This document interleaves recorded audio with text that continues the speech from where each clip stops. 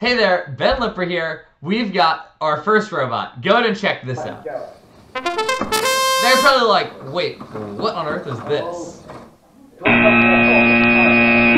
Now, the reason I want to share this with you is because this is actually a really cool drive base. This drive base is the base of almost every single robot I build, and it is the base uh, exactly of my next Vex IQ Challenge full volume robot.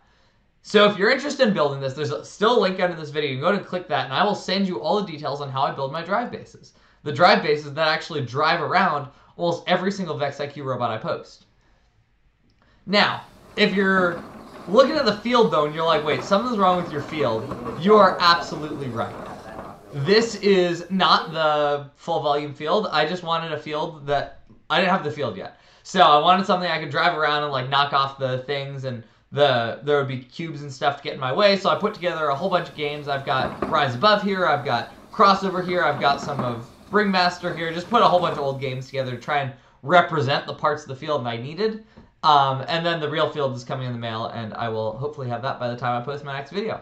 Now, like I said before, there is a link under this video. Go and click that. Get details on this drivetrain so you can get a really solid base to your robot. Continue building on it, iterating on it, making it better. As always, like and subscribe, and I can't wait to see what you build.